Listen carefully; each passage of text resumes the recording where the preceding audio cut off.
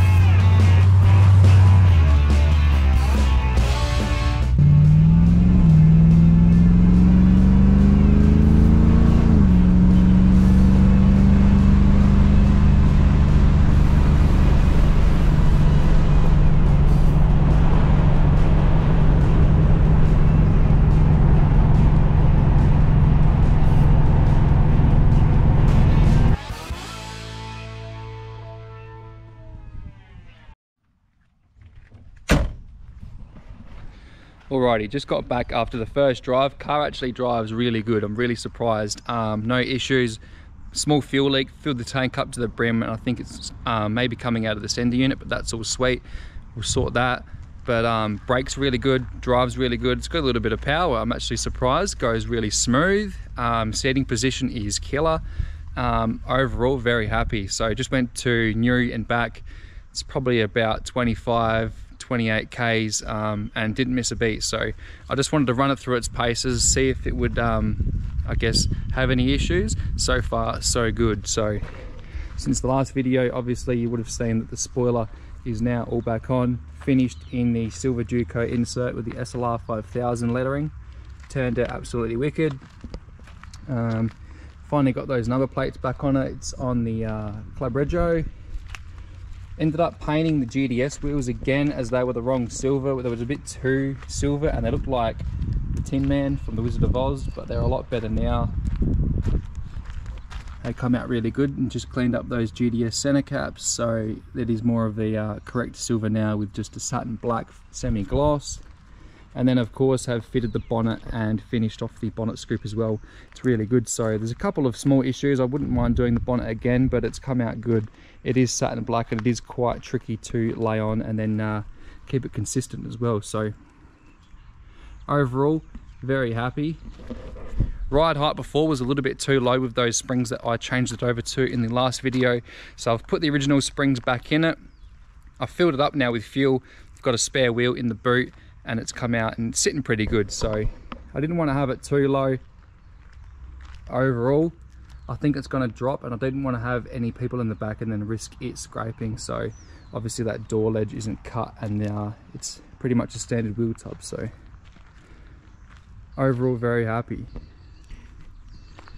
Interior is obviously interior finished off as well now in the black and the golf ball inserts with those door trims. It's come up really good and of course the uh, the stereo as well so that's good for the road trips and uh, just got some speakers up in the back to uh, keep the tunes going along. Just take a look under the bonnet. It's really clean under here. Still got some things I still want to finish off 100% so I'm going to piss off the uh, blue ignition leads. We'll put some black ones on it eventually.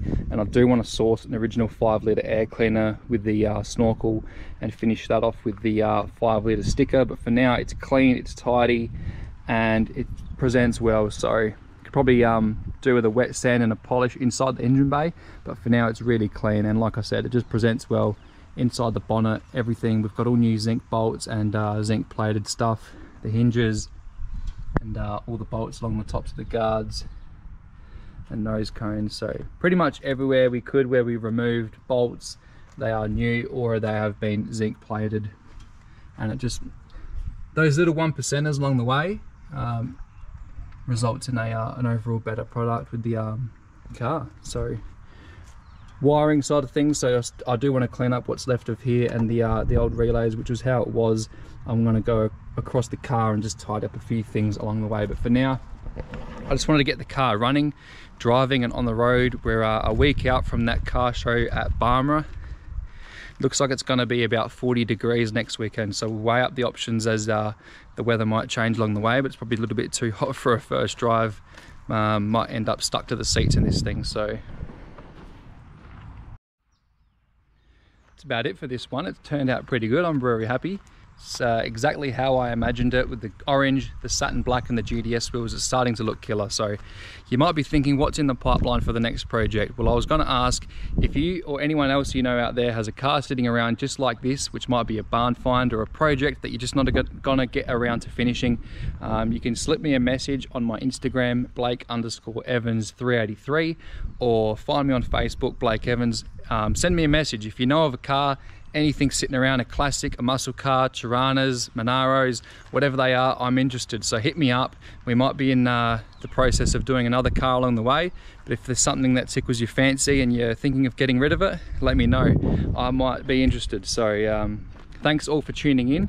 Appreciate the support and we'll see you all in the next video. Cheers.